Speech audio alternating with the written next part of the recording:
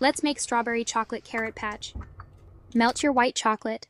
Add food coloring to make it orange. I only have water based, so it's normal to seize or harden. Add a little vegetable oil. Keep mixing until it's perfect. Dip your strawberry into the orange chocolate. To hold the dirt patch, melt your chocolate, put into a mold, and chill. Put the crushed Oreo cookies on your molded chocolate, and then the dried carrot strawberry on top of the Oreo dirt patch. Enjoy Happy Easter!